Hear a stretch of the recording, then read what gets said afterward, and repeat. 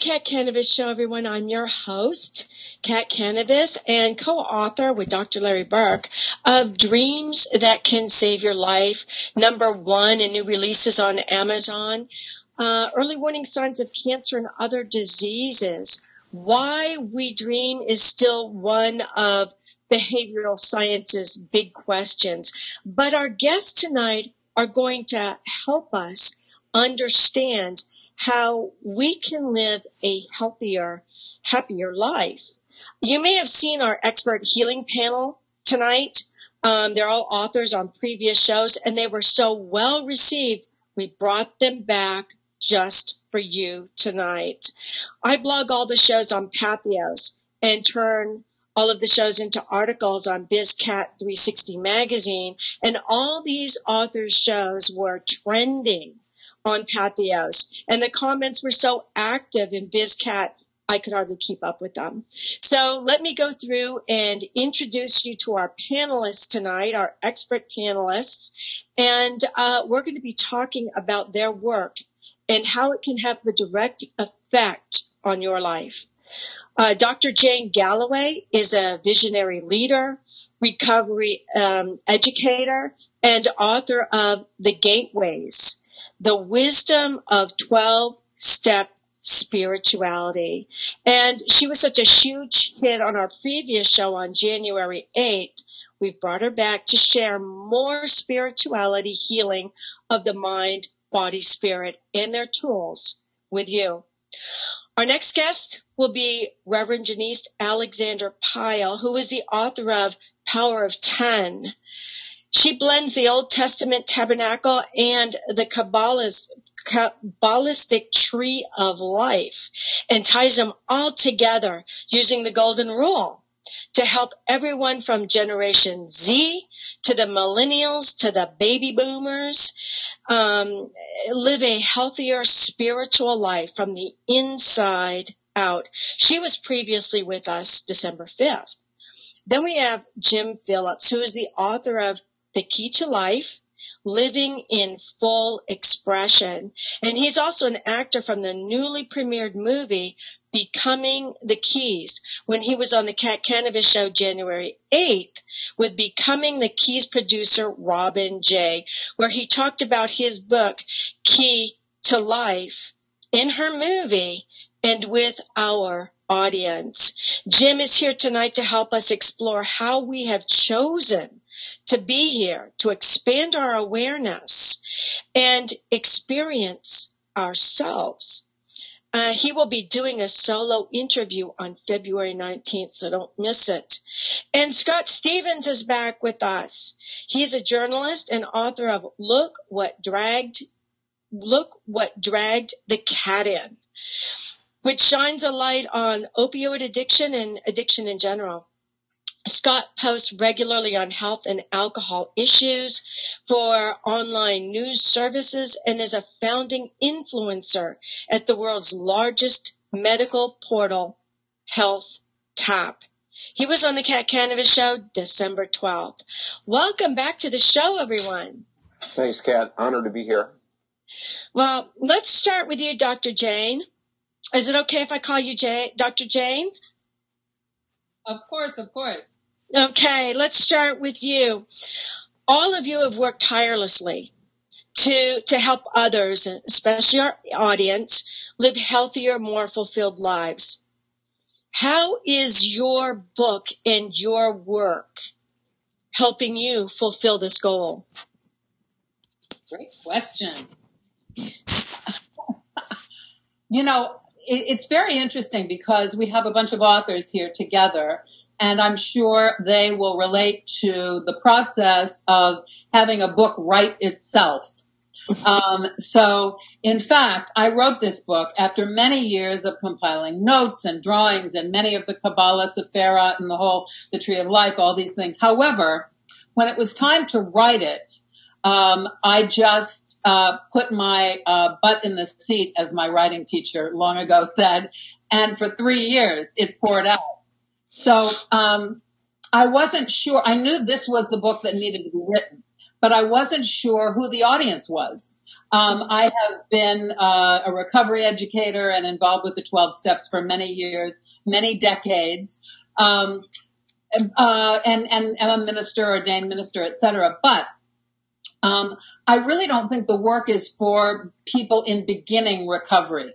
I have always seen the 12 steps that were kind of a channeled process within AA uh, initially as a literally a channeled developmental path, almost like a scaffolding or an organizing principle, much like many other psycho spiritual paths. So um, I wrote the book and I think, uh, you know, it, it took about a year to begin to zero in on what I was really trying to get to.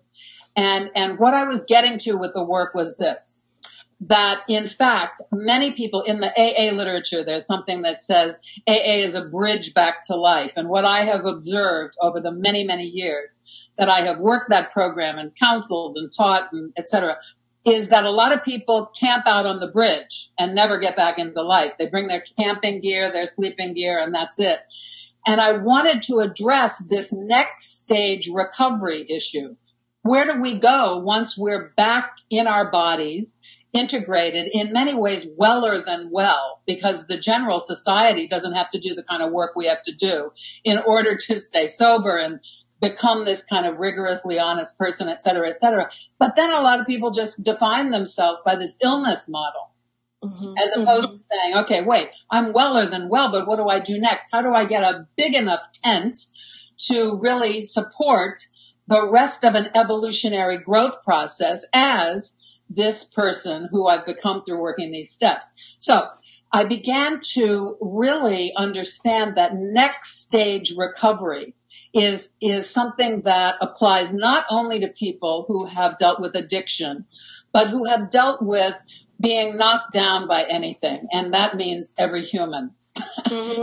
um, Can you hold your book up for us again so that we, because by now everybody's going, oh, I got to go get that book. And by the way, their websites are on the Kat Kanavos show page and also on Kathleen O'Keefe Kanavos author page. You can go there right now and click on them and go and get this book if you've already gone through the steps or if you're thinking about even going through the steps and need the next place to go.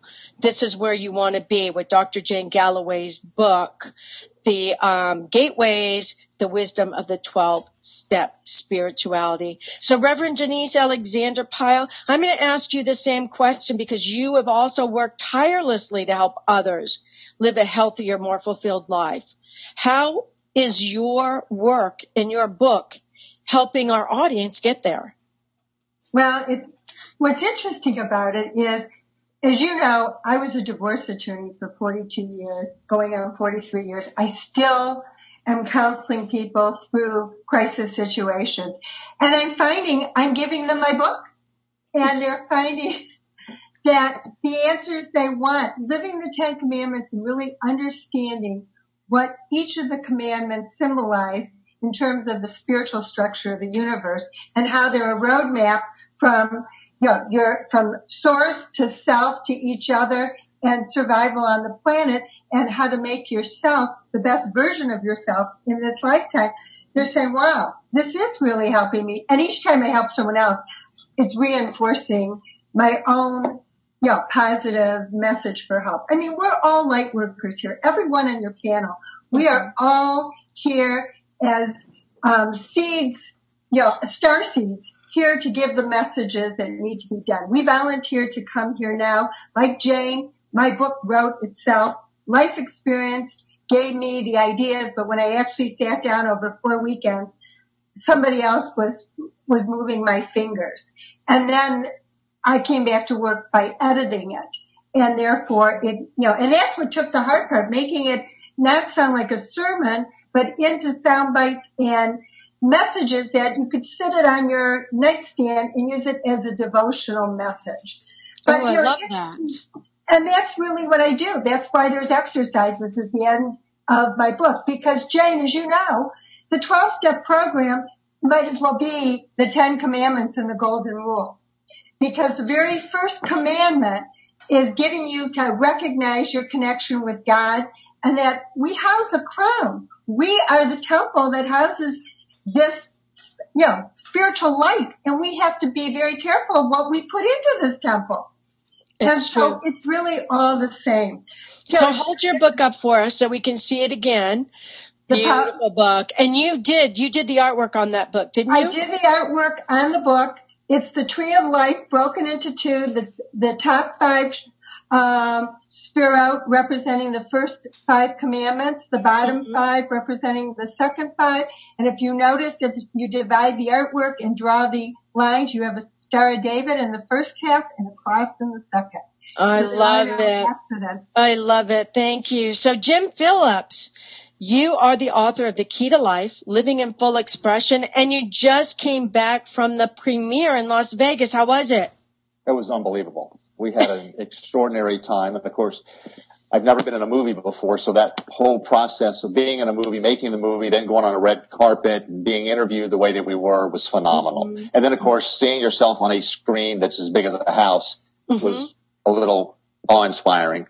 And and you know, uh, Robin sent me the link to the movie premiere, and I saw you in there. And your book does reflect very well in the movie. Your message is amazing. So I'm going to ask you to, you know, hold up your book again for us now, so we can see it.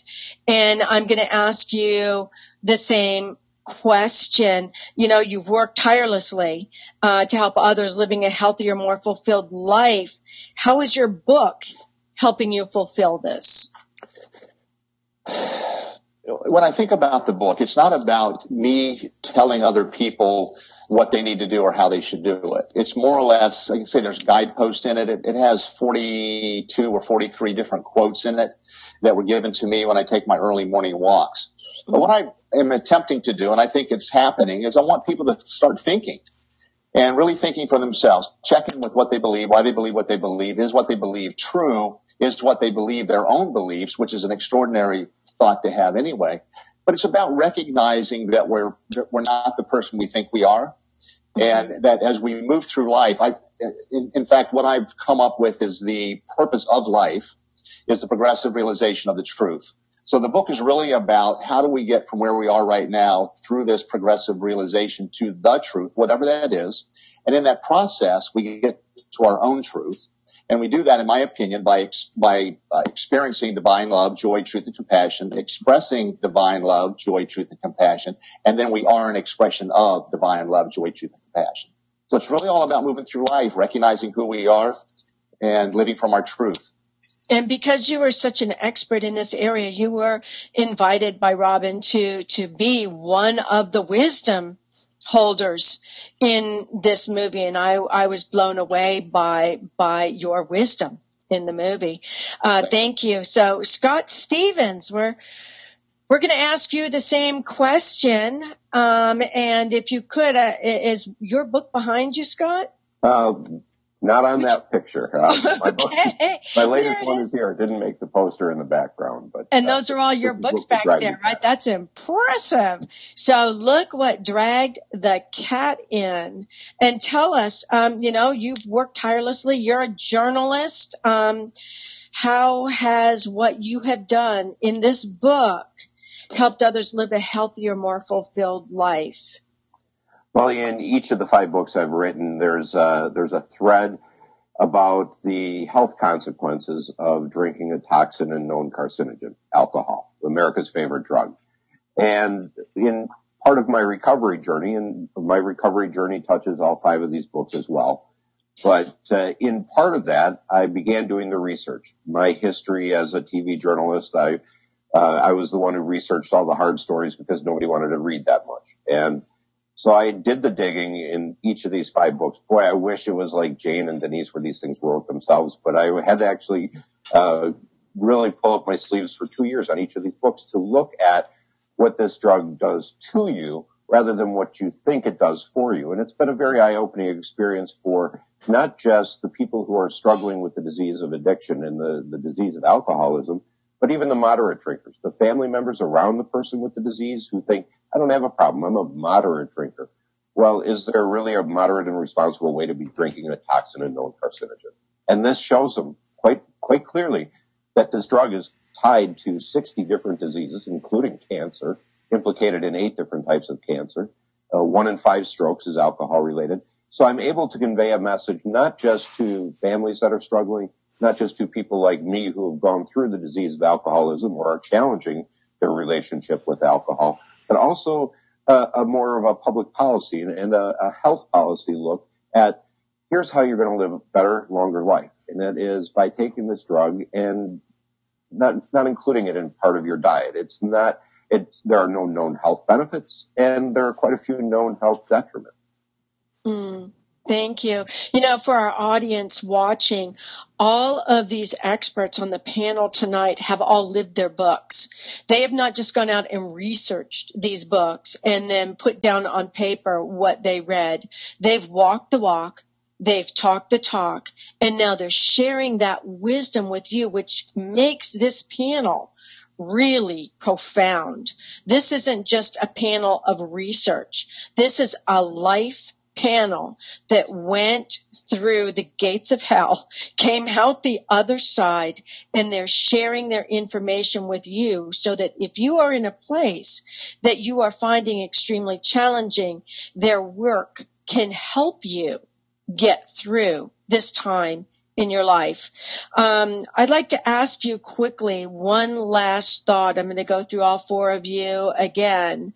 Um, what is one last thought you can share with our audience to help them through any challenges they may be going through right now? And let's start again with you, Dr. Jane. Well, I guess what I would say is keep moving. Don't get stuck on the bridge, uh, and understand that a wellness model of recovery is a sustainable, lifelong psycho-spiritual path. And uh, defining yourself by illness, I'm just a sick whatever, is um, is not a holistic path, is not a wellness model. And so I would say get off the bridge Oh, what a, that that is a great thought, um, uh, Reverend Denise Alexander Pyle. Well, I would share a quote actually from Carl Jung, which really reflects healing and love of yourself, which says, healing comes from that which leads a patient beyond himself and beyond his entanglement with ego. It's about getting beyond ego and connecting to your inner truth. And that's really how we get to be, you know, our purest version of ourselves in our in wellness. Oh, I love that. That is great. Uh, Jim? I think a thought that I would, would leave with, and it's, it's something that I say every morning when I'm doing my walks because I want to set the tone for the day. As I mentioned, I believe this is all about our coming to our own truth. So what I ask every morning is what is required of me to allow that which I am to be experienced and expressed through me and as me. And then I wait for the response. I typically get an answer during the course of the day. Something will show up or I can look back on the day and see where that opportunity was given to me. And you do get an answer. It comes. Every day. I love that. And finally, Scott Stevens. There's a, a, quote that has been a part of every book that I've written, and that is, what causes problems is one. And when you're looking at your life, when you're looking at your experiences, um, in this case, with all my books talking about alcohol, uh, you may not have gotten in trouble every time with alcohol, but every time you were in trouble, alcohol was involved. That should be assigned to you, a nudge from the judge or the wife or anybody near you, nearby you, you have to take seriously because it takes a lot of courage to get there. But when you're examining yourself and looking deep in the places we don't want to look at, we have to look at what caused the problem and arrive at the conclusion that what causes problems is one. Well, thank you, uh, everyone, for being on the show with us tonight. Uh, and a big shout out to Rachel, our producer. This show will be turned into an article on BizCat 360 and will be in Patheos. So uh, I will post it on my social media page as soon as it is published by those publishers. And join us again next Tuesday for more great guests that will be tied directly into your life. Good night, everyone.